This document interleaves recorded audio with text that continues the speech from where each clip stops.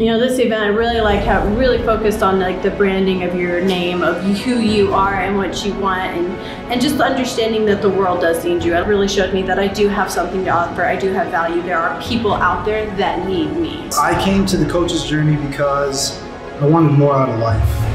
the mindset the branding the limited beliefs um, just how deep and at really core level he gets to i was not expecting that being able to actually ask questions, being able to talk to the leaders, and get a real hands-on just vibe Very with real, everyone. Yeah, just very real. I like that it was like close and unfiltered. I feel like I've been holding back a lot, and this event really helped me give more, just learn how to give everything that I have to offer. We make, we make life and business much more complicated than it needs to be.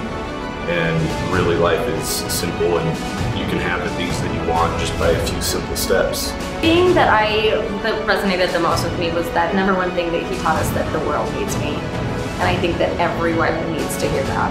I will give myself the permission to succeed to the highest level, to reach my goals, and to inspire those around me. better to come and regret it versus never do it and regret it Yeah, if you want to keep on moving forward and getting better, then you have to sacrifice a little bit. And, but this event didn't even feel like a sacrifice. Yeah, it was a time commitment, but it was absolutely phenomenal, and I got way more out of it than I ever would have imagined. we all need to be investing in ourselves learning from someone who has lived it and who is doing it it will change your life